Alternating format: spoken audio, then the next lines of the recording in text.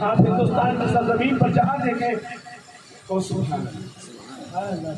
जहाँ देखे सदाएँ गूंजती हैं हिंद में जो अल्लाह की। सच पूछो तो ये सदका मदारुल आलमीन का है। बचपन मदार का न जवानी मदार की। अल्लाह है अजीब कहानी मदार की। अल्लाह है अजीब कहानी मदार की। और देखिए, न खाना खाते हैं, न पानी पीते हैं। ऐसा ही वली कोई है, आपने देखा है? रोजा रखने में आप बहुत सारे रोज़गार वली हुए हैं। वलियों में कोई ऐसा वली आप देखें जिसने पाँच सौ छप्पन साल तक कुछ न खाया हो। और खिलाने वाला कौन है? अहमद मुख्तार।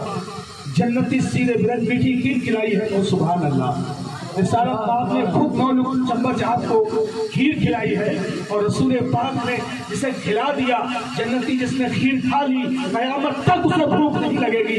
जन्नत का खाना खाने के बाद न पानी पी रहे हैं, न आपको सेब की हाजत है, न अमरूद की ज़रूरत है, न किसी दुनिया की और चीज़ की ज़रूरत है। पानी आज मदार पाक की बारगाह में आज हाजिर था, लेकिन मदार फरमा रहे हैं, ए भारत, हम तुम्हारे पानी पीने के लिए नहीं आए हैं। यहाँ का गेहूँ खाने नहीं आए हैं, यहाँ के अमरूदों को खाने नहीं आए हैं, यहाँ के सेबों को खाने नहीं आए हैं।